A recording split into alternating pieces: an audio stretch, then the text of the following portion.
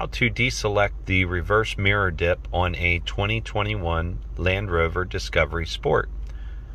First, locate the menu button, select, brings up the main settings menu, uh, and just uh, find vehicle settings, scroll down to convenience features, select, and you can turn on or off.